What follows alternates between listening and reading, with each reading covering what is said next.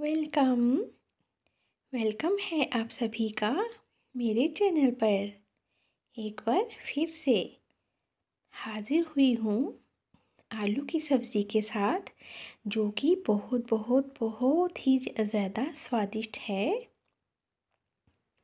ये देखें, गाढ़ी ग्रेवी वाले आलू।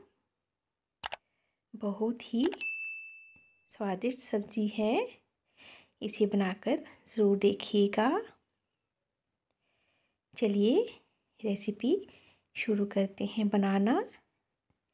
इससे पहले की रेसिपी बनाऊँ प्लीज़ मेरे चैनल को सब्सक्राइब कर लीजिएगा और वीडियो को शेयर लाइक भी कर दीजिएगा। बहुत मेहनत लगती है। प्लीज़ सब्सक्राइब कर लीजिएगा। सबसे पहले तेल गर्म होने पर ज़ीरा डालें।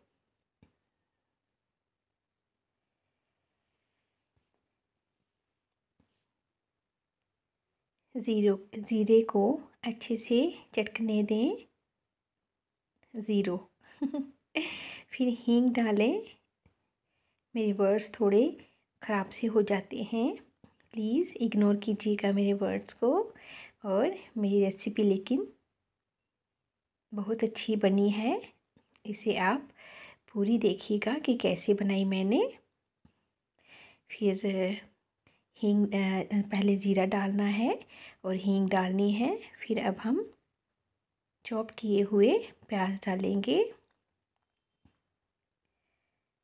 अच्छे से प्याज को इतना ज़्यादा भी नहीं भूनना है।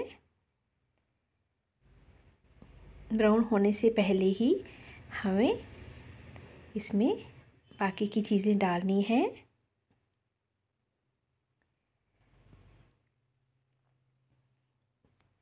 सच में ही बहुत मेहनत लगती है।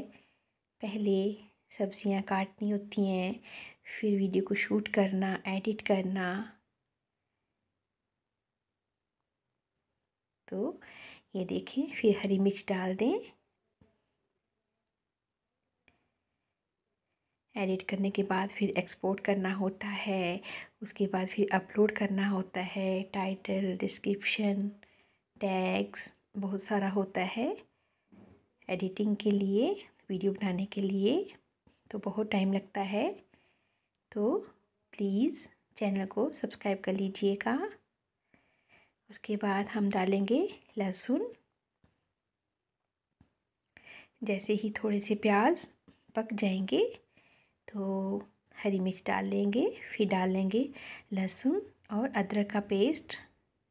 लहसुन और अदरक को मैंने इकट्ठा ही कूट लिया था, पीस लिया था। तो इसको डालें।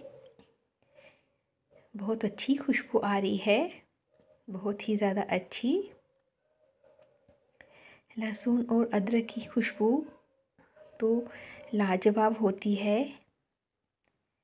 बहुत ही अच्छी खुशबू हो जाती है और टेस्ट भी वैसा ही बन जाता है जैसे कि खुशबू होती है।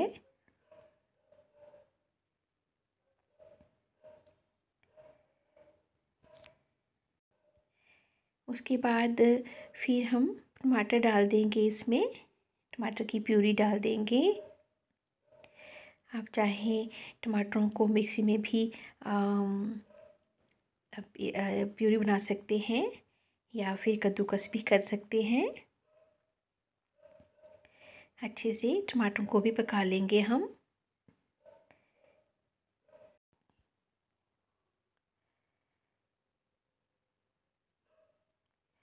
अच्छे से जब टमाटर भुन जाएँगे, हमें ये जो टमाटर हमने डाला था, एक इसकी, एक टमाटर की हमने प्यूरी डालनी है और एक टमाटर जो है वो चॉप किया हुआ है, वो हम बाद में डालेंगे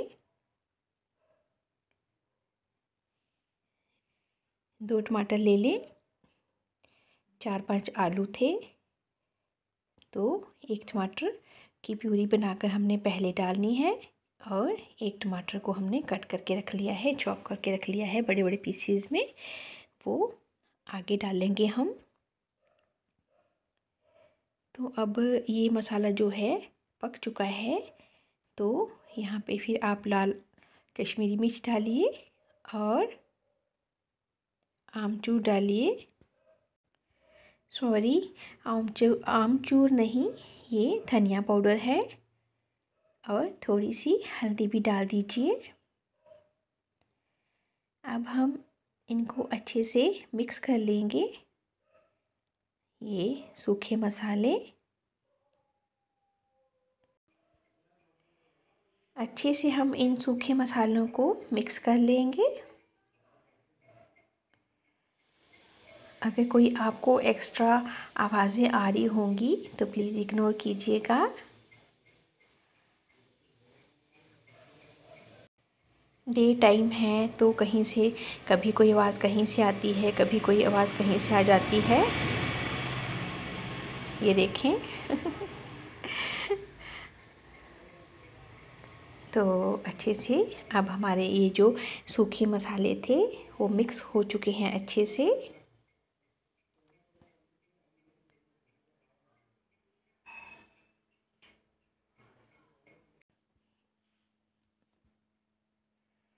ये आलू जो हैं, हमने बॉईल भी कर लेने हैं।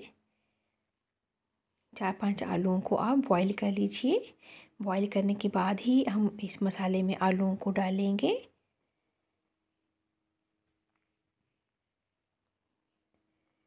तो मसाला हमारा अच्छे से भून चुका है।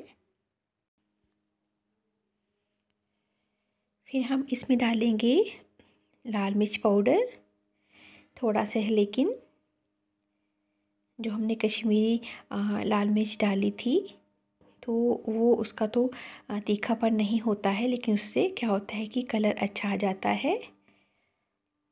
और ये जो लाल पाउडर मिर्च डाली है, इसका थोड़ा सा तीखापन होता है। और जो ग्रीन चिली बीच में डाली है वो भी हमने थोड़ी सी ही डाली है। ग्रीन चिली का भी अपना ही एक टेस्ट होता है खुशबू होती है। फिर हम इसमें थोड़ा सा पानी डाल देंगे थोड़ा सा बिल्कुल थोड़ा सा पानी डाल देंगे थोड़ी सी ग्रेवी के लिए। ग्रेवी भी कहाँ अभी तो आ, मसाले को ही पानी में अच्छे से बनाना है हमें। तो ये देखें, जब पानी सूख जाए और मसाला जो है वो तेल छोड़ने लगे तो इस टाइम पे हम कोई भी सब्ज़ी डाल सकते हैं, जो हम आलू उबाले हैं, हमने, वो हम इसमें डालेंगे।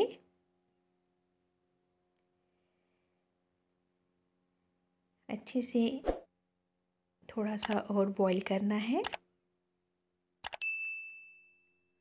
तड़के को जितना हम ज़्यादा पकाएँगे अच्छा ही बनेगा। बहुत अच्छा हो जाएगा तड़का।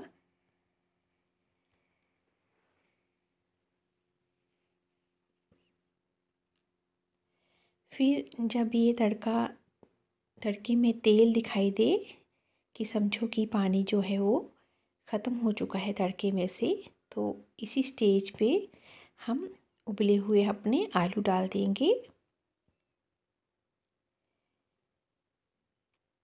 आलूओं को फिर हम अच्छे से मिक्स कर लेंगे। लेकिन हमें इस टाइम पे जो फ्लेम हमारी है वो कम रखनी है स्लो रखनी है। अगर हम आ, ये फ्लेम को हम ज़्यादा कर लेंगे फुल कर लेंगे तो इससे क्या होगा कि ये जो ग्रेवी बन गई है हमारी थोड़ी सी बिल्कुल ही ख़त्म हो जाएगी, सूख जाएगी ज़्यादा आँच पर। और आलू बिल्कुल सूख से जाएँगे और जुड़ जाएँगे आपस में। इसलिए इसको लो लो फ्लेम पे ही बनाना है। ताकि ये जो हमारा मसाला है, वो आलू में अच्छे से जज्ब हो जाए। और इसी के साथ ही ये जो हमारे चॉप किए हुए टमाटर हैं, ये भी आप डाल दीजिए। जब हम आलू डालेंगे, फिर टमाटर भी साथ में ही डाल देंगे। तो जब तक हम सब्ज़ी को लो फ्लेम पे पकाएँगे तो टमाटर भी अपने आप पक जाएँगे। अच्छे लगते हैं टमाटर और ये जब मुँह में आएँगे तो बहुत बहुत स्वाद लगेंगे। बहुत स्वाद लगेगी सब्ज़ी। पहले भी टमाटर हमने डाला था, लेकिन उसका, उसकी प्यूरी बना के हमने डाला था। अब हम टमाटर को प्यूरी बना के नहीं, पीसीस में डाल दिए। तो ये देखें, सब्ज़ी कितनी अच्छी लग रही है। आप ये सब्ज़ी जो है इसको बस हमने थोड़ी देर और पकाना है लिड लगा के पकाना है। फिर आपने नमक क्या करना है कि नमक बाद में डालना है क्योंकि पहले नमक की जजमेंट नहीं होगी। तो जब ये आ, हमारी सब्ज़ी इस तरह से आ, सब कुछ डालने के बाद बिना पानी के तैयार हो जाएगी तो आपने इस टाइम पे नमक डालना है। तो थोड़ी देर इसको हम लिड लगा के पका देंगे कि ताकि जो मसाले हैं वो अच्छे से आलू के अंदर तक चले जाएँ। और ये आप इसमें जब टमाटर डाल लेंगे, उसके थोड़ी देर के बाद मलाई डाल लीजिए। एक दो चम्मच मला मस ये मलाई डाल लीजिए या फिर फ़ूड क्रीम डाल लीजिए। इससे क्या होता है कि सब्ज़ी जो है, सब्ज़ी का जो टेक्सचर है वो बहुत ही सॉफ्ट हो जाता है। ऐसी नरम नरम सी बनती है सब्ज़ी। ऐसे कि इसकी ग्रेवी जो है वो भी बहुत ही अच्छी बन जाती है। पतलापन ग्रेवी ये पतलापन जो है सब्ज़ी से हट जाता है, मलाई से थोड़ी गाढ़ी सी, अच्छे से मिक्स हो जाती है। फ़ूड क्रीम डालें। या फिर मलाई डाल लीजिए। दो चम्मच फ्रेश मलाई जो होती है, दूध की। तो मैंने घी बनाना होता है तो उसके लिए मैंने इकट्ठा की थी। आज भी डाली थी मैंने, ताज़ी वाली तो वही वाली मैंने उठा ली। इसमें डालने के लिए ज़रूरी नहीं कि फ़ूड क्रीम ही डालनी है। ये देखें, कितनी अच्छी सब्ज़ी बन चुकी हमारी। तो ये सब्ज़ी जो है, आप इसे ऐसे भी खा सकते हैं।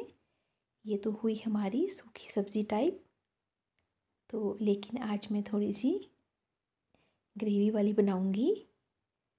इसी में अगर आपको ग्रेवी वाली बनानी है तो इसी में आपको थोड़ा सा पानी डाल के तो इसकी ग्रेवी को थोड़ा ज़्यादा कर दीजिए।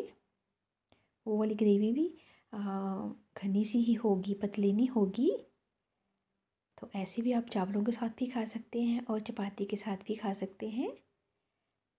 तो हम थोड़ी देर के लिए लिड को लगा लेंगे। तो लिड को, जब हम लिड को लगाएँगे तो बिल्कुल स्लो फ्लेम पे रखना है हमें। फ्लेम को हमें स्लो रखना है बिल्कुल, क्योंकि एक तो इसमें ग्रेवी कम है। तो और जल ना जाए नीचे से, इसलिए हमें स्लो फ्लेम पे ही रखना है। और लीड लगा के थोड़ी सी पका लें। तो जब तक देखना है हमें कि हमने जो लीड लगाने की ज़रूरत हमें कब कब पड़ेगी, वो तब तक पड़ती है। जब जैसे लगता है कि हमारे आलू के अंदर तक ये मसाला नहीं गया है अभी तक, आलू अलग से ही दिखाई दे रहे हैं या कुछ ऐसे। स्लो फ्लेम पे जितनी देर तक आप सब्ज़ी को रखेंगे तो सारे मसाले अपने आप ही सब्ज़ी के अंदर तक चले जाएँगे अच्छे से। ये देखें, आप ये सब्ज़ी ऐसे भी खा सकते हैं।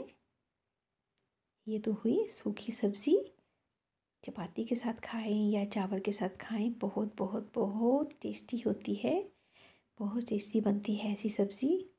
इस तरह से बनाएँगे आलू। बहुत ही टेस्टी हैं, यकीन मानिए। आप भी बनाकर देखिएगा ज़रूर और कमेंट में बताइएगा कि कैसी बनी थी आपकी सब्ज़ी। फिर से एक दो बार ढक्कन लगा के थोड़ा सा स्लो फ्लेम पे रख के पका लें। अच्छे से। ये देखें कितनी अच्छी लग रही है।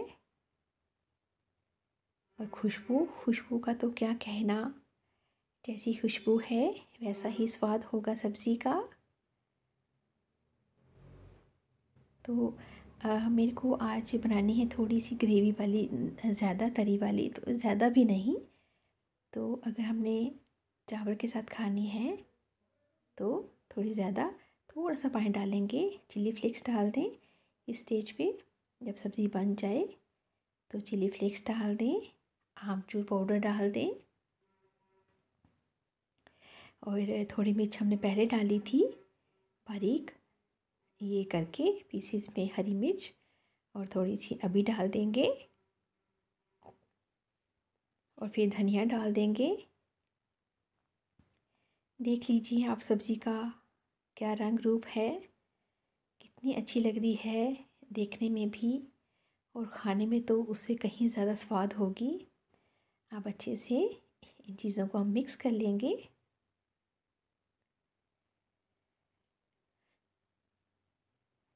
लाजवाब सब्ज़ी बनी है सच में। आप देख लीजिए, आप खुद भी बना के देख लीजिएगा। इतना टाइम भी नहीं लगता है। सब्जियों को कट करने में टाइम लग जाता है, लेकिन सब्ज़ी जब बनाते हैं तो सब्ज़ी फटाफट से बन जाती है। ये देखें, आप इसे सूखी भी खा सकते हैं।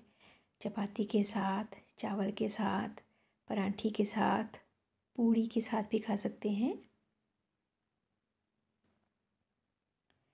यहाँ तक तो ये सूखी सब्ज़ी बन गई है आलूओं की बहुत बहुत ही टेस्टी और अब हम इसमें थोड़ा सा पानी डालेंगे। तो लिड लगाकर स्लो फ्लेम पे पकाएँगे। तो वो वाली सब्ज़ी भी तैयार हो जाएगी, थोड़ी ज़्यादा ग्रेवी वाली। पहले इसको देख लें, कितनी अच्छी बनी है, ये देखें। ज़रूर से ज़रूर बनाइएगा। और बच्चे भी मांग मांग कर खाएँगे। ये आलूओं की सब्ज़ी। ये देखिए